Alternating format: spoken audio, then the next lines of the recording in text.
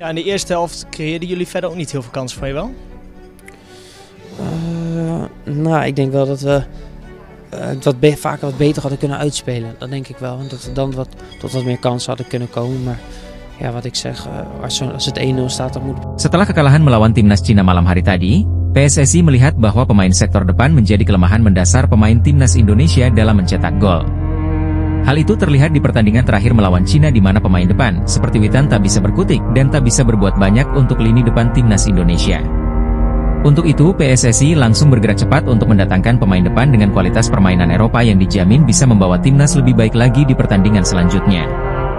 PSSI sendiri dikabarkan tengah mendekati striker tajam milik FC Twente Sam Stein.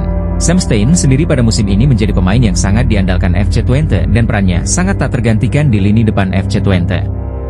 PSSI sudah lama melihat bakat dari Sam Stein karena Sam sendiri merupakan teman satu klub dari Mesilgers yang merupakan pemain timnas Indonesia.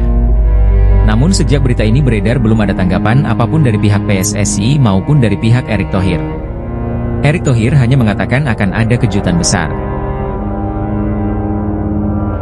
Bukan Erick Thohir namanya, jika tidak membuat bangga negara Indonesia. Kesuksesannya di dunia bisnis.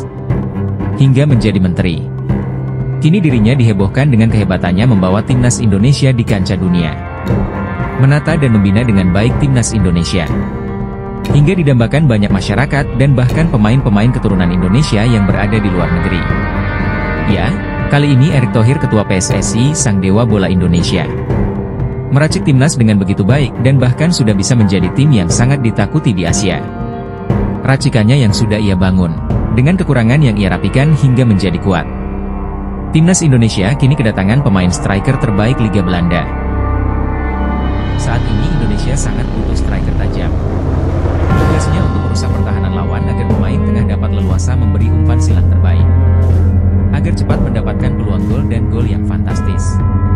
Saat ini timnas begitu lemah di lini depan. Tidak adanya striker tajam membuat timnas Indonesia tidak leluasa mengancam penjaga gawang lawan. Kaki ke kaki secara tim sudah begitu bagus dan sangat baik. Secara tim sudah hebat.